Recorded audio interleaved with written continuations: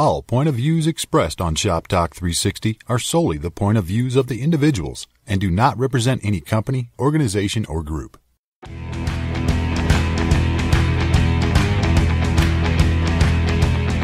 Shop Talk 360, the industry's dedicated platform for commercial design, construction, and facilities. With more than 25 years building for national retail brands, an award winning and best selling author, keynote speaker, industry coach, and event producer. Here's our host of Shop Talk 360, Grace Daly.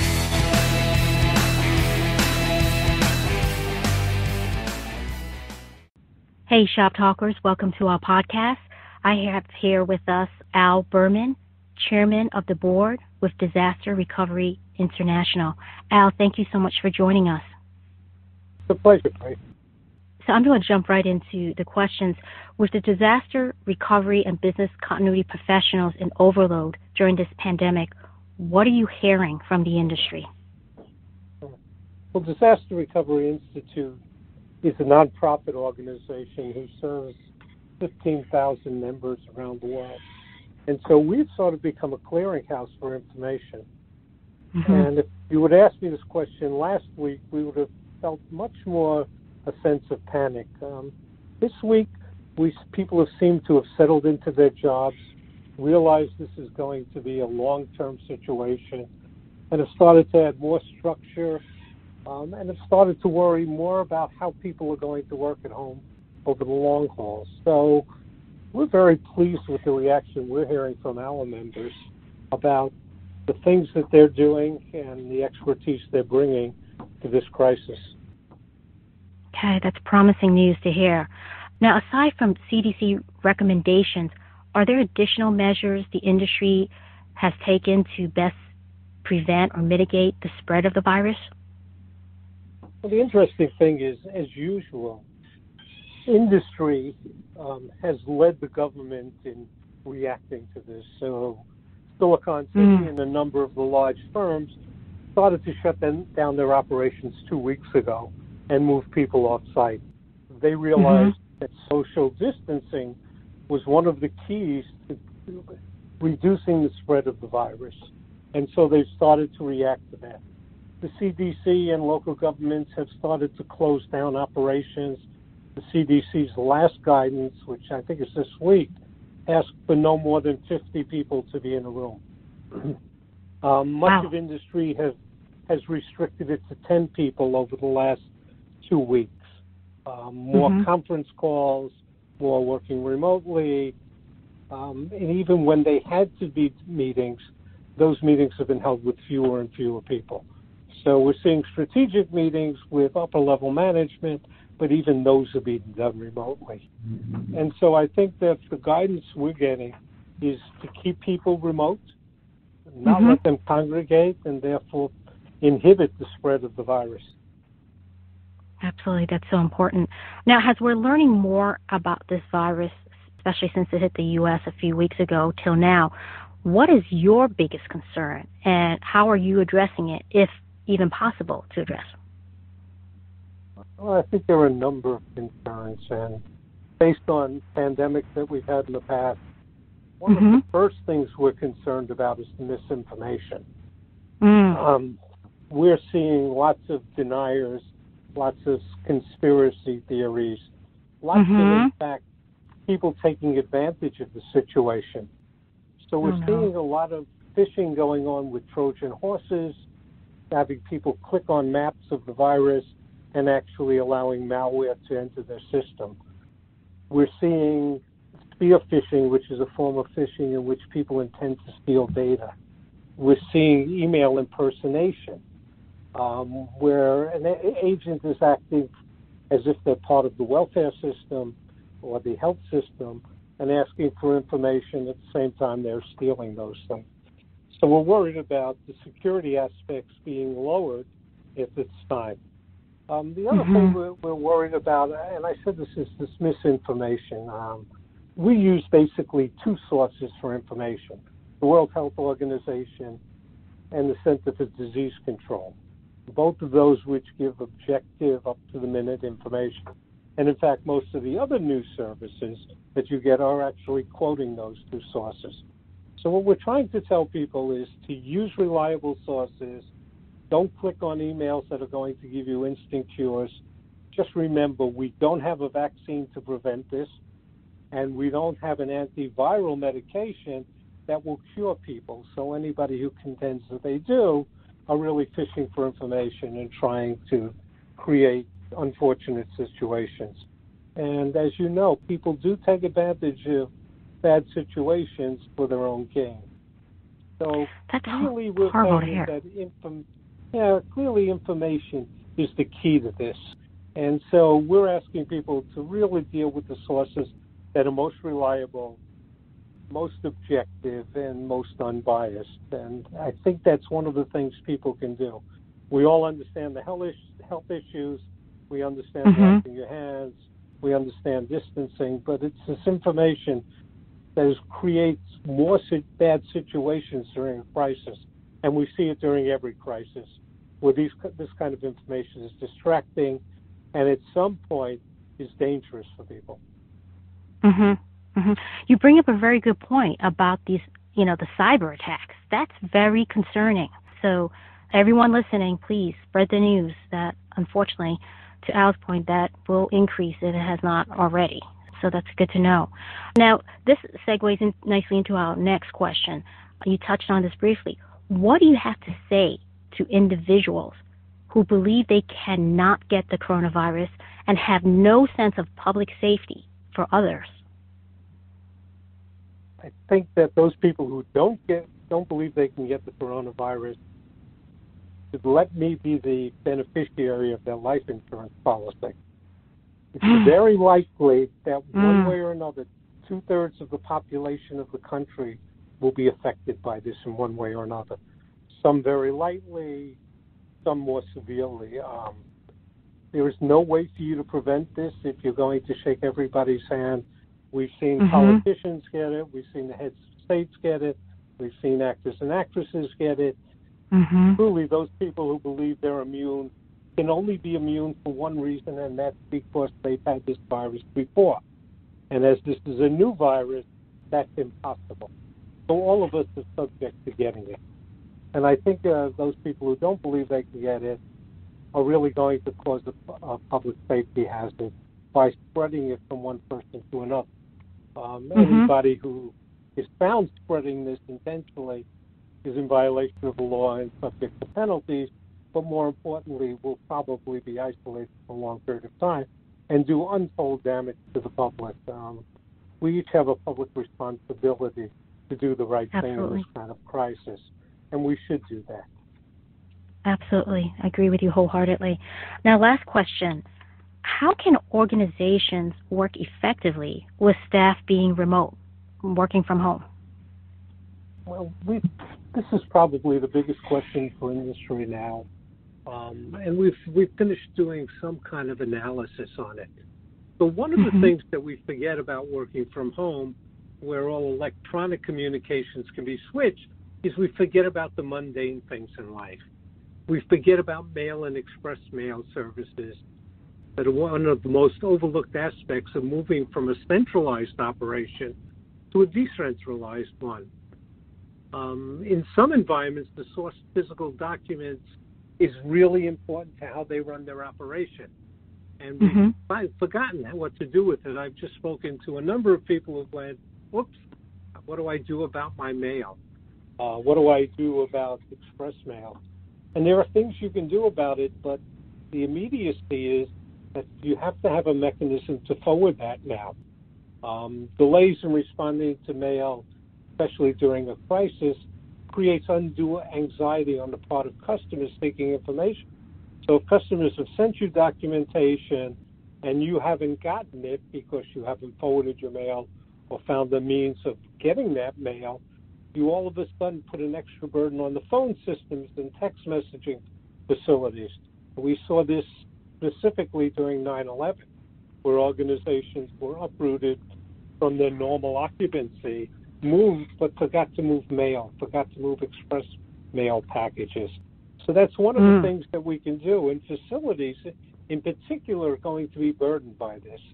And they have some time now to make sure they have home addresses, they have methods of forwarding mail, but I think that's an important aspect we've missed. The other one is, is probably more in the lines of receiving and returning phone calls. Many of us only have one phone, um, and it's yeah. now become our cell phone. And we've got to be able to differentiate between the way we handle personal phone calls and business phone calls. And with them going to the same telephone number, it becomes a problem. So there are services like Skype, which will allow you to have a Skype phone number, and as most of us are staying home and have internet mm-hmm. access, the phone will ring on your computer or it will ring on your cell phone, but will, it will ring as a different number. And so if people start to do this, which is very quick, very inexpensive, um, phone calls are about somewhere around three cents a minute, and that's even mm-hmm. international. Mm-hmm. Um, people will be able to handle business phone calls apart from home phone calls or personal phone calls. And with children being home from school, the number of personal phone calls is going to increase.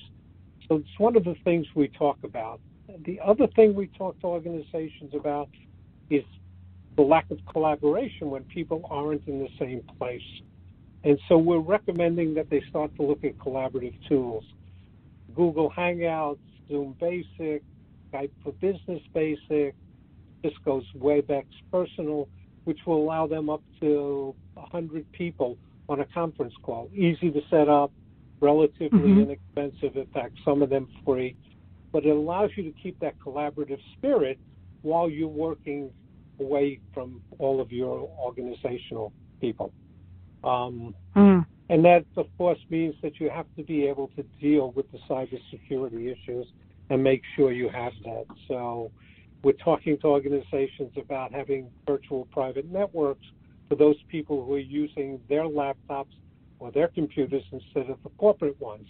Just remember, a lot of people didn't have time to go back to their office to get their um, computers. And I think mm-hmm. that that's one of the things we're starting to look at working remotely. It's a totally different environment. Um, and I think that's one of the things that organizations have to deal with snail mail, express mail, communications, collaboration, so that they can have the same effectively working remotely as they do when they're working with each other. Yeah, wow. Well, that was that was some great information you gave us. Absolutely. I feel like we're just all pivoting as quickly as we can. And my biggest takeaway from this chat was just getting accurate information. You know, uh, there's so many different uh, news media channels out there, and ultimately, it's the World Health Organization and the CDC. You know, the cybersecurity that was a huge eye opener for me. I didn't even think about that. That that these folks are are going to be taking advantage to try to cyber attack. But the collaborative tools were was very very helpful. Al, thank you so much for joining us. Yeah. I look forward to touching base again with you soon, perhaps in a few weeks, as this continues to unfold. My pleasure. Thank you for having me, Grace. Hey, Shop Talkers, welcome to our podcast. This is a podcast to track some of the concerns, ongoing concerns with the coronavirus. I have with us our guest, Angel Cara. She's a Senior Vice President of Retail with Sparks Marketing Corp. Hey, Angel, thank you so much for joining us. Thanks for having me, Grace. You know, I feel like, you know, by the time this podcast even goes out, I'm sure there'll be more developments. Things are changing almost on a daily, if not hourly basis that we've heard of. But I wanted to kind of chat with you and understand what's been going on and how it's impacted our industry. So I'll ask you real quickly the first question. How has the coronavirus impacted your specific industry? Great question. And we've actually been dealing with it for the last few weeks uh, because we do 50 to 60% of our retail manufacturing in China. And mm-hmm. we had extended delays in our shops with Chinese New Year and then extended beyond that until the government gave them approval to open up. Mm-hmm. So fortunately, we've we had enough inventory for our clients like Comcast to weather the delay, and now all of our shops are open. They may not be at 100% capacity, but they are busy, and we are starting to ship inventory again. So we, we've been feeling the impacts. We've been working through assessing all options, timelines, and where we needed to producing domestically. And, and I think that is key is having both domestic and import capabilities is critical. So you actually have employees in China, you mentioned. Yes, yes. I have 11 Sparks employees, including project managers and engineers in China that have literally been, we've been getting updates from them since, you know, early February. Mhm. Mhm. Okay. And they're all well. Their families are well. They are. Fortunately, okay. everyone is, is doing well, and they are working from home, but working working closely with our shops and and trying to get back to normal. So that does give me a gl- little bit of glimmer of hope with everything. Sure. The news that we're hearing is I see them getting back into their routine, and and we're uh, again shipping and hel- helping our clients. Yep. Yeah. Okay. That's good to hear. That's very promising to hear. Now, here in the in in the U.S., what measures has your organization taken to prevent or mitigate the spread of this virus? We are following the same measures that most companies are, and according to the CDC, including providing work from home as an option, limit unnecessary travel, extra cleanings, and we mm-hmm. are having daily leadership team meetings across all of our offices. We have offices uh, on the West Coast, East Coast, Detroit. So making sure that we're on the same page and that we're communicating and, and our employees feel the support. Okay, yeah, that's so important. I think a few days ago, I, I read that there were some employees of re, of a retail chain that felt like they did not get direction. They were very unsure of what was going on. And of course, so when there's when there's no information or no shared information, it just causes more concern and and uh, and more worry. I believe that uh, retail chain finally did communicate down to the store level where their folks are, you know, in the stores selling. So obviously this is going to impact everyone in in some way, shape, and form. And I think if, if we just continue communication, that's important, right? And Absolutely. At least, yeah, at least a flow of communication, even if we don't know, because it's still unfolding. We say, hey, we don't know, but we'll find out, and we're in this together, and we're going to work it out. So no one really feels like they're out there alone. So now, as we're still learning more about the coronavirus since it hit the U.S. And of course, the president had a speech yesterday evening. What is your biggest concern, and how are you addressing it, if it's even possible to address? Grace, great question. I guess my biggest concern is the unknown and the domino effect on the economy. Uh, so right now, mm-hmm. we feel like we're in a good spot but there will be a lot of businesses and individuals impacted by the decreased travel, the NBA being canceled, you know, not the NCAA tournament with no fans. So what does that do in that trickle down effect economy and the consumer? So again, communication is key, even though if you don't know anything, but at least we are dealing with the facts that we have. And mm-hmm. in terms of addressing it, you know, I tell my team at work and my children that we need to understand and assess the data that we know today. Don't let our minds be our worst enemy. Let's not overreact, but we do need to plan accordingly. We we need to be smart with our day-to-day business and be prepared, whatever that means, and that could change from this week to next. Mhm. Absolutely. Yep. I feel like it probably won't be. I was chatting with a couple of our industry folks, and it probably won't be a couple till a couple of weeks till we see the full picture of the impact uh, on our country. And maybe you answered this last question I have because you spoke a lot about preparedness, but what's the best advice you have as a leader of our industry and also as a leader of your of your home, of your family, on how to deal during these uncertain times? Uh, first and foremost, prioritize your health, and that goes for any time, mm-hmm. the flu season or the coronavirus. You know, follow yes. the guidelines.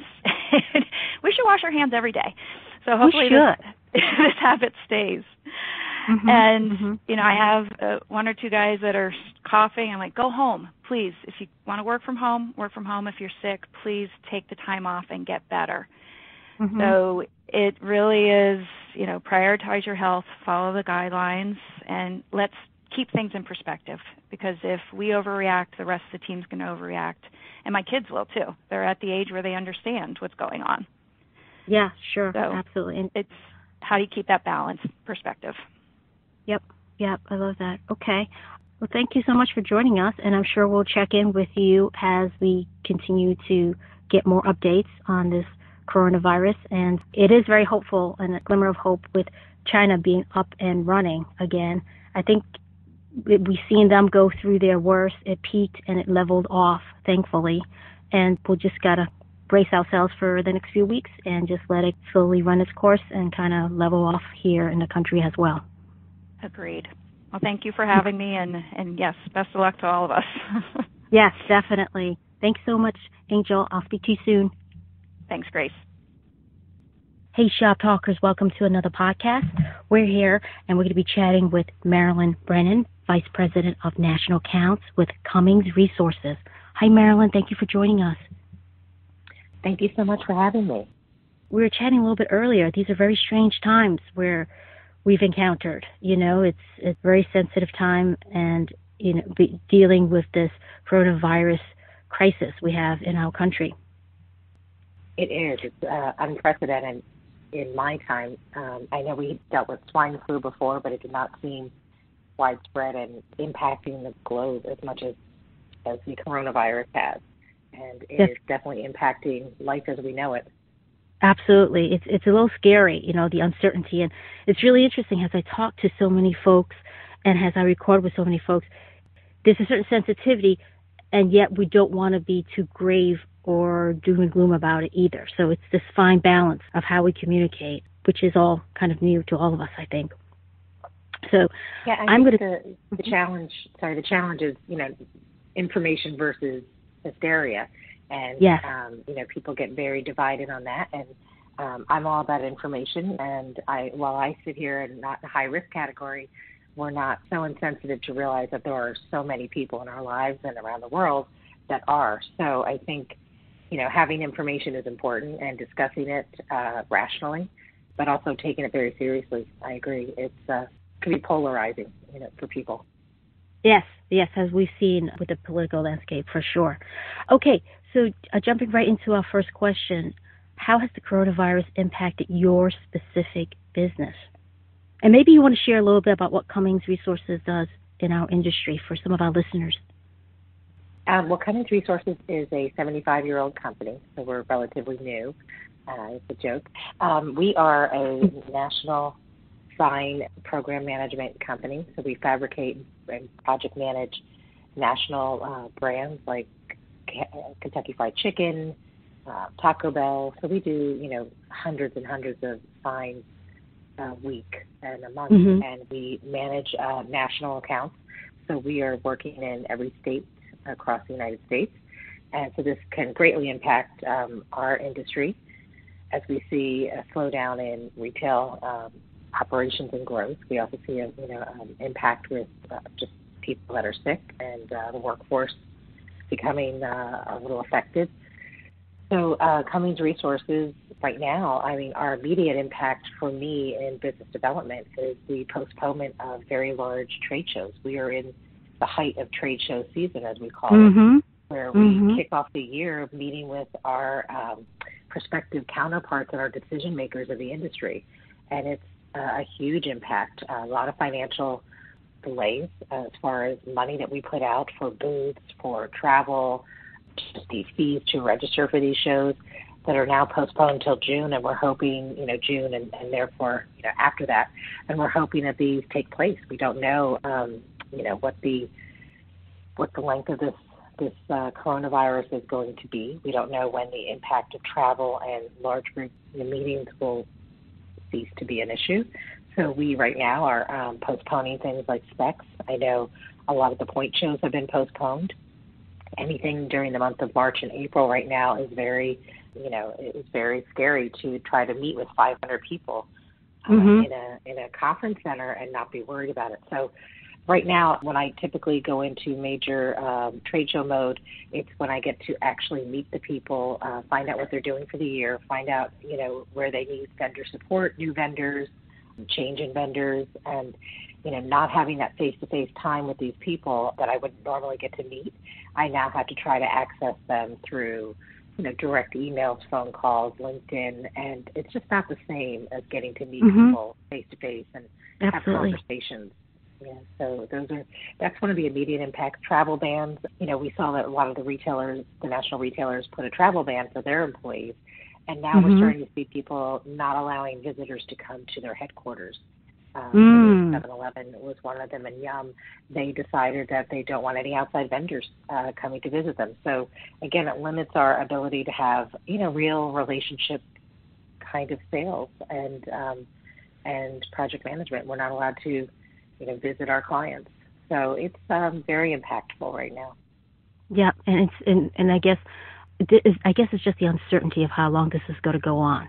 You know, everyone's very hopeful that you know, there's been all speculation, but everyone's hopeful that maybe in the spring slash early summer we'll see things taper off. Maybe the weather will be helpful in uh, mitigating additional cases of it or spread of it or severity of it. So, and again, everything is just so unknown. So now, does Cummings Resources, do you have employees overseas or no, all we U.S. Not.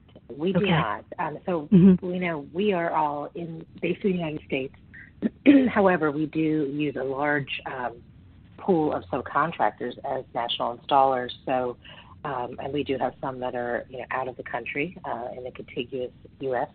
So you know we will get impacted um, from that aspect, but also a lot of our supplies to manufacture signage comes from overseas. You know, a lot of the LEDs are manufactured in in China. Um, now we don't buy directly from them, but this will impact our supply chain.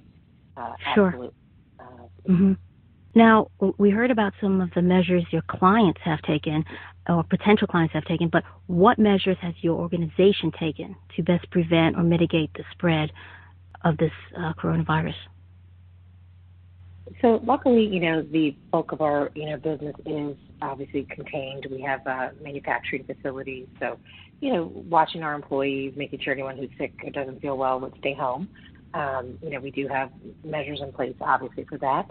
And then all of our work as project managers, uh, like most people, can be done remotely. Um, you know, we are very web-based and um, you know, LinkedIn telecommunication wise. So, you know, mm-hmm. we are set up to continue operating as long as our clients are able to, you know, participate in the process. We are, you know, we're here to business as usual. You know, we can do whatever we do from our homes. Um, we a good portion of our team has uh, worked remotely uh, at any given time and could do so, you know, in a heartbeat. So, you know, we're we're set up to work through this. We are here to help our clients in any way we can.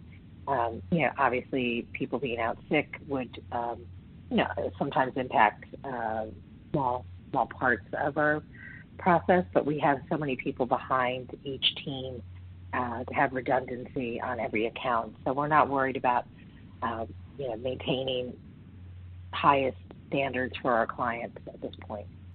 Okay, great. That's good to know.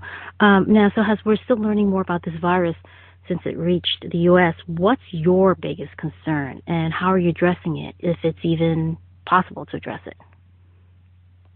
You know, me personally, because I do, you know, I, I always joke that I live in airports and I do like you many do. of my counterparts. Mm-hmm. Um, yeah, so the more I hear about, you know, airports having to, you know, clean and, um, you know, people coming through and finding out that they are positive, you know, for coronavirus and they're still traveling. I mean, we've always been exposed to crazy amounts of germs as travelers, you know. That mm-hmm. um, so I don't tend to get, um, I, I think my biggest fear is that I'm underestimating my exposure, uh, maybe, um, because I feel mm. like I'm not that I'm immune to it, but just, you know, oh, if it happens to me, I'll be fine. Um, you know, I fly all the time. So I think sometimes that uh, uh, lack of of concern or um, maybe uh, underestimating the severity of this uh, mm-hmm. is going to start to impact people. Um, mm-hmm. So right now, I think my biggest concern would be just staying healthy and and uh, you know I'm pretty quarantined uh, or self isolated uh, in general because I am, you know, I do live alone, so I can kind of stay out of the norm. But mm-hmm. um, you know, air, air travel is definitely a concern. So mm, I think mm-hmm. I'm I'm deciding about when I will start cutting any kind of travel, and uh, it'll it'll probably be very soon. Mhm. Sure, absolutely. And especially with um, someone like yourself and, and many folks in our industry always on the go. Just always on the go, always ready to service folks, clients, you know, operational teams. It's definitely we have to kind of step back and take a breather and, and just look at the, the concern has a from a holistic point of view. But okay, yeah, definitely. I, I found that the same with me as well too. You know, I've kind of held off on travel for the next 45 days to see where everything, you know, to just continue to monitor further developments um, and make a decision from there. But um, okay, now last question, and to wrap up our bead round show, what's the best advice you have for our industry and our families during these uncertain times? Well, I think for our industry would be to, um, you know, kind of hold the hold the course here. Um, you know, we have a lot of knee-jerk reactions, I think, with um, mm-hmm. retail and restaurants and hospitality industry. Everybody's getting impacted, but you know, I think our industry, we are um, we're always working six months to 18 months, you know, ahead. So I don't know that we're going to feel the impact this month, but it might be in three months that you know we have a kind of little slow up. But I think you know just to be diligent and um, you know, be respectful and understand that, you know, maybe hopping on a plane is exasperating the situation. So not to mm-hmm. you know, be so driven with our own goals that we're not looking at, you know, the greater goals of everyone else. And if it's not essential, then maybe take a break and take a minute and, and um, you know, we will recover from it. Um, for our families, you know, I have a mother in an assisted living center. She just mm. found out yesterday we cannot visit her until this is over. So, um, you know, it is important. Anyone who's been traveling or you know could be exposed to, just be careful around those that um, are more susceptible and to be understanding. And and stop hoarding toilet paper. yeah. yeah. I am one of the hoarders. I'm sorry. I've got a lot of kids. Though. I'm one of the I, hoarders. I understand that. I actually keep saying, you know, stop picking on the people that, you know, if you get shut in for three weeks with couple kids, you know, you're going to run out of things. So, you know, mm-hmm. I'm I'm very respectful. I think people are buying what they think they need. Um, you know, but again, I, I know it's kind of crazy times, but um, I, I know we'll get through this. Um, I think get tested, be careful. You know, stay away from people if you think you've been exposed, or you know. Mm-hmm um, yeah, if we take a couple weeks where we just all kind of, you know, hunker down and only do what's essential, I think maybe we could, you know, really flatten this curve of uh, uprise in this, this illness. Mhm. Mhm. You said something earlier which really resonates, and and, and you mentioned understanding, and that's so important. And and I wish more folks would be understanding, um, whether it's to their own employees or the clients be more understanding to their service providers or just having that extra bit of understanding. Um, instead of spouting off, um, you know, uh, I'm, I'm kind of uh, really exhausted seeing everybody saying, stop all this hysteria. I don't think this is hysteria when it's a global pandemic. I'm not yeah, the one sure. now. My hair is on fire, but I'm also very respectful of the fact that the number of deaths around the world um, mm-hmm haven't really hit the curve here yet. You know, we haven't, you know, had the reporting that other ones have. And, you know, I think for me, I'm always, you know, cautiously, um, you know, prepared. And I think, you know, we should be very understanding that it may not affect you personally. And I, I feel like a lot of people just want to blame this on the media. And, you know, to me, I, I'm, I guess I thrive on information. Um, mm-hmm. I'm not out um, and, you know, about the apocalypse, but you know, it certainly is something that makes me think twice about what I'm doing, and I think it's important. So um, I don't think knowledge is is hysteria, and I think um, you know it's a, a an hour by hour changing, living and breathing pandemic, and we have to be very diligent and, and inform ourselves correctly. Yeah, so we'll get I, through I, it. Sure, we will. We will definitely. Well, Marilyn, thank you so much for joining us, and I hope to catch up with you on a future podcast, and we'll uh, check in with you periodically as well too. So thank you so much. Stay safe and be well. Thank you. You too. Thanks for joining Shop Talk 360. Real conversations in the commercial design, construction, and facilities industry. You can reach out to us at grace at gracedaily.com.